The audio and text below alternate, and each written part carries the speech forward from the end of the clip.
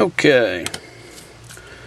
Today I'm going to try to replace the lens assembly on a Samsung WB350F.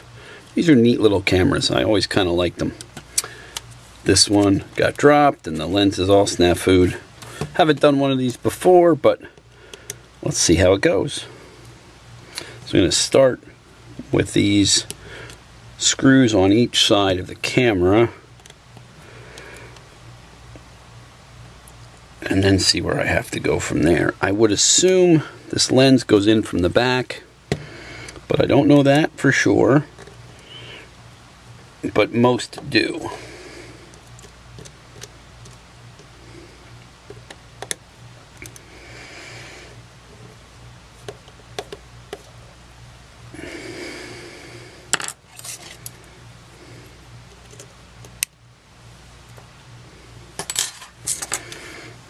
Okay, probably gonna take the bottom off.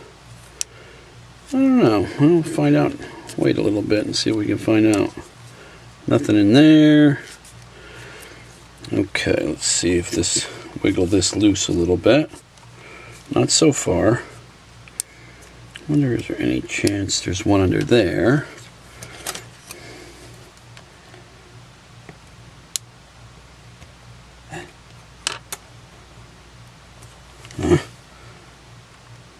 Taking this just off screen to get my tweezers under that leather a little bit. See if there's something under there. I don't know, it doesn't look like it.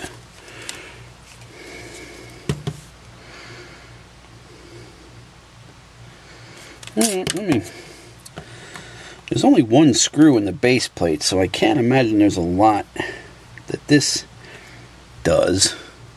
But let's see if it comes off.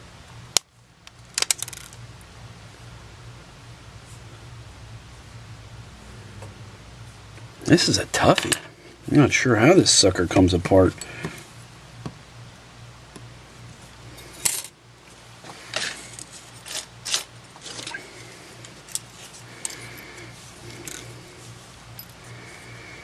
Don't see anything up near the top.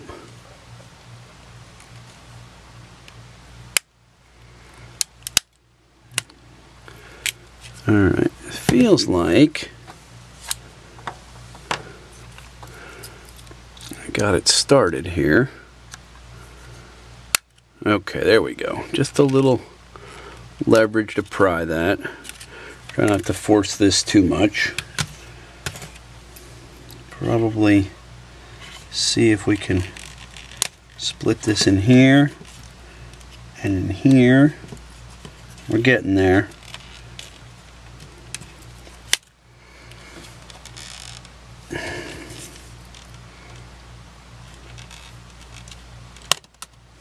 Okay, there we go. That's a little better. Okay. Now, come on up. Oh, there's a little gap up here. Sometimes you can take one of these little pry tools and just sort of zip it under there and slide it across here. There we go. Okay. Well, there's that. Alright, so let's see where the LCD goes.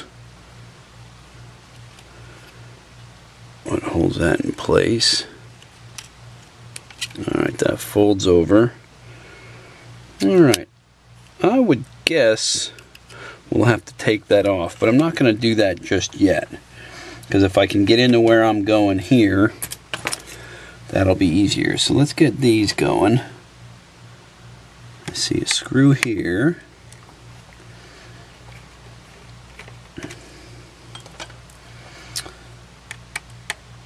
Screw here. I'm a little concerned as to how far that wraps around this side. Eh, maybe not. Alright, can I lift that up? And the short answer is no. Alright, so yep, I think this has to go. So, let's come back here see how this flex cable comes out.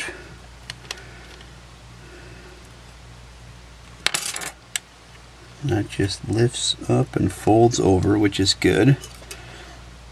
Okay now I could disconnect that but again I'm always I'm all about not disconnecting something if I don't have to so I'm just gonna fold those out of the way. The more I have to disconnect, the more likely I am to break one of those ribbon cables, and I hate that.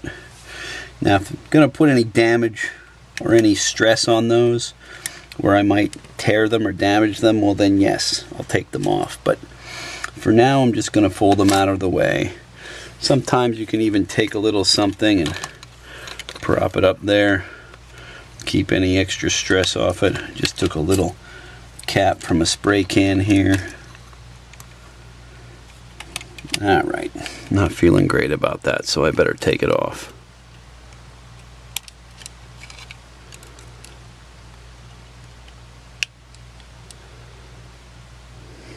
Yeah. Gonna reconsider. I'm gonna wait. Not sure which kind of clip that one is there, so I'm gonna try to wait. Alright, so looks like that's in the ballpark. Now over on this side, there's these guys hinge over a little clip over here. So we just want to lift those up. And hopefully, come on, there we go. Okay, there's that. Well, that's most of it. Because here comes, and here we go. It's trying to come out. Alright, so we are going to have to replace the sensor. We're going to take the tape off of this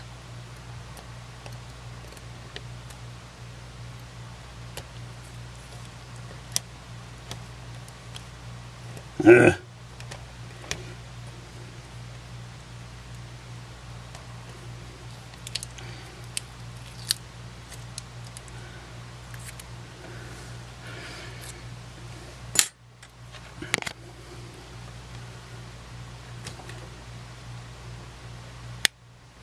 Alright, so we're going to pop that tab. Now we're going to get the tape. This is, that's to the lens assembly. This is the tape to the CCD. So we move that piece of tape and pop that little tab. You can use tweezers. You can maybe get your fingernail under there. And then we're just going to wiggle that out of there. Whoops. Okay. That's it. It's out.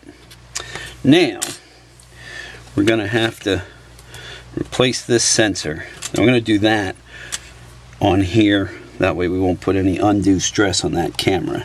So the first thing we need to do is get this protective material off of here.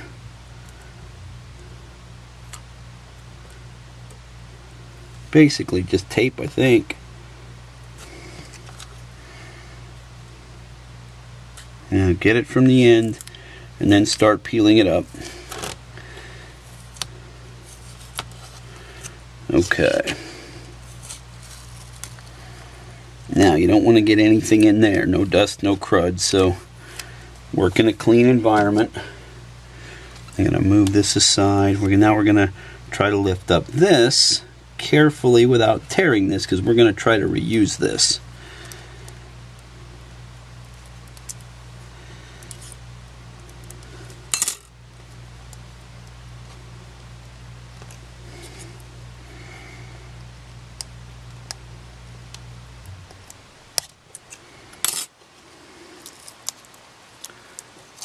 Just being, not being too aggressive here. Don't want anything to go flying when I take this off. I'm not sure if there's anything, I think it's just a dust cover, so that's cool. Alright, looking good. Okay, so we're to save this because we're to reuse it. I suppose I could use the one the new one came with too. Not sure. Alright, so now we're just to transfer the sensor to the new one. So it looks like there's just three screws that hold this in. Now, again, be careful. We don't know what's under here, so there might be a protective piece of glass. some cameras have what's called the low pass filter, which is just a different kind of color piece of optical glass. Um, so don't just be careful, go slow.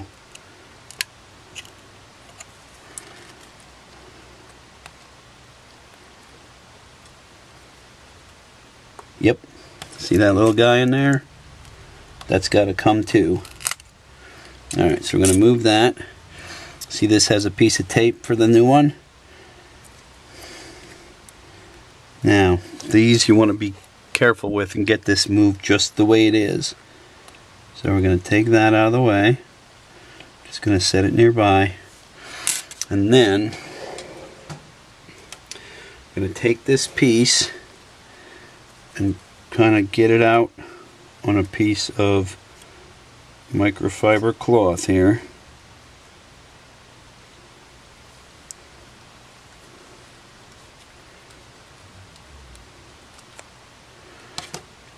And then we're going to just carefully wipe it off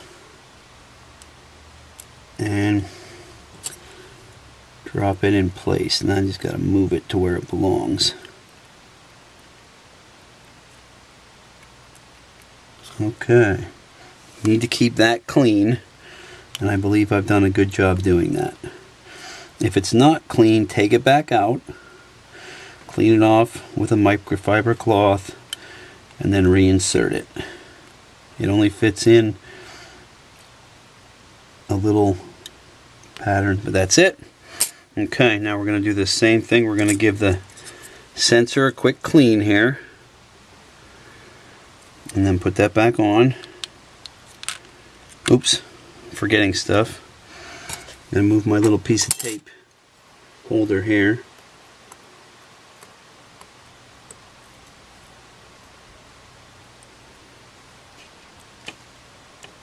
That's just to keep that circuit flex where it's supposed to stay. We'll put our sensor on press that onto the tape.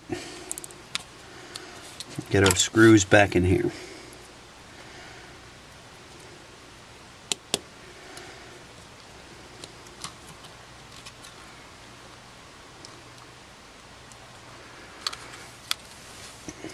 I can't tell if that's seating properly or not. Doesn't quite feel right to me There we go. I didn't quite have it sitting sitting down there right there. There's a little little locator tab piece of plastic.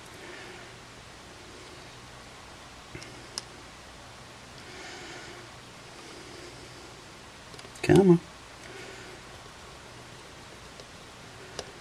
Okay, and last but not least, we're just going to push our old lens assembly aside. We won't need that guy again.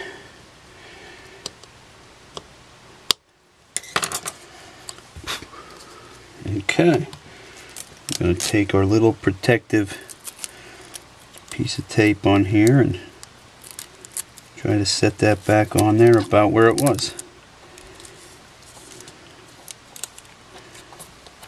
Alright. That'll keep some dust and crud out of there. Okay, now I just got to put it back together. So I'm going to drop that in there first. And just wiggle it in place. Okay, there we go. Now, just lightly press this circuit board back where it goes. Now, one of my favorite parts is getting these little suckers back in here. Be careful, don't tear them because then it's garbage and you got to start over. So you just lift them up a little bit.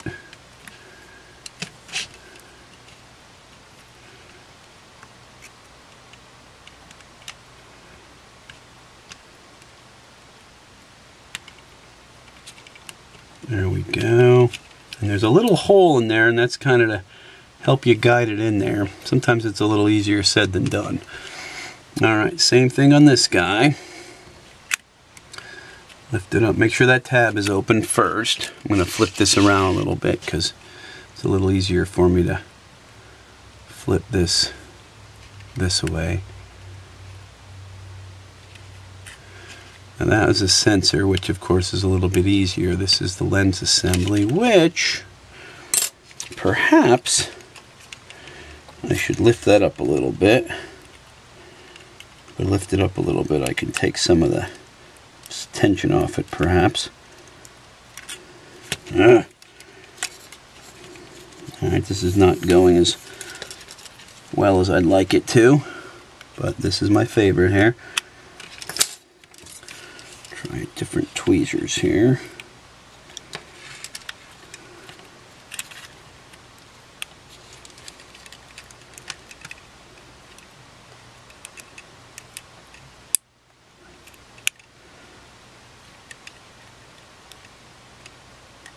See, I'm putting a little more stress on that than I'm comfortable doing. So I'm going to start over here. I'm going to pop this tab up again. Take this one out.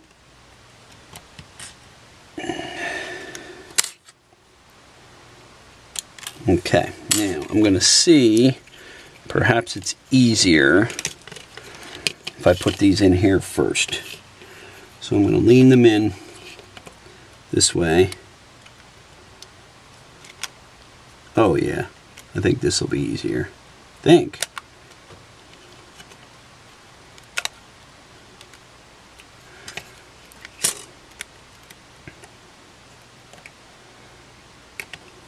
Okay, I think I got that one. I think it looks good. I think I got that one. Okay, then see if we can wiggle this in the rest of the way. But see, sometimes there's not enough room to do that. So, I don't know if I can. Close. And I don't want to tear those. I don't want to put too much stress on that. I think. I think. Okay, I think. Phew! Yep, just barely. Okay. Now that they're mostly in there, you can pop those tabs one more time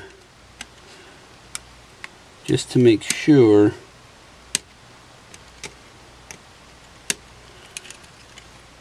and then make sure these cables are seated properly and I think that one looks okay so I don't uh, can't tell is that in there crooked maybe I maybe I will adjust that one a little bit There we go. That looks better, I think. Okay. All right. Well, should be it. We'll put our little cover tapes back on here. They're there just so they don't come loose, basically.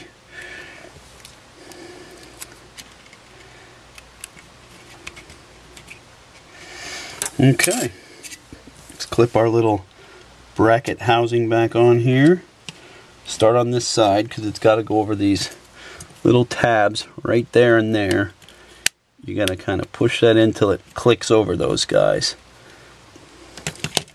Okay, then we can lightly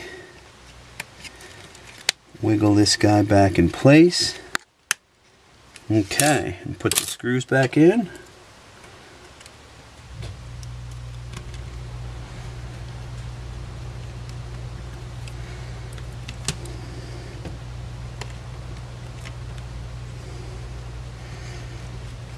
Okay.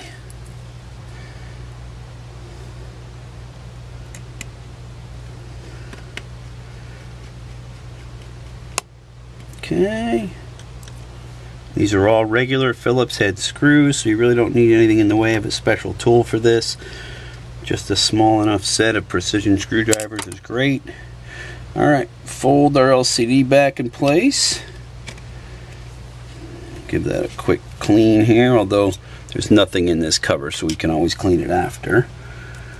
Alright, fold our this circuit board panel back in place. Get it to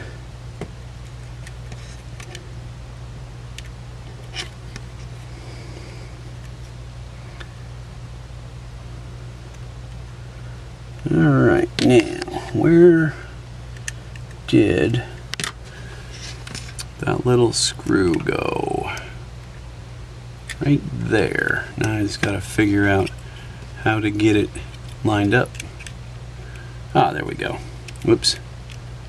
There we go. Okay, I was trying to push that over too far. So right there is where this little screw came from. Alright. Put our cover back on and just kind of, I think, wiggle it gently. May have to give it, eh, you know what, let's give it a little lean on this side first because it's got to go over, see, it's got to go over the USB output and the little strap lug. So let's see if we can't start that side first, maybe a little bit. Get that under there. There we go. Alright, and give that a little squeeze. Alright, now, before I put those final screws in there, let's pop a battery in it. And keep our fingers crossed, see if it works. Alright, date's okay, we don't care about that. So far so good. Let's turn it back to something simple, auto. So far so good. See if our zoom works. Looks like it does. All right.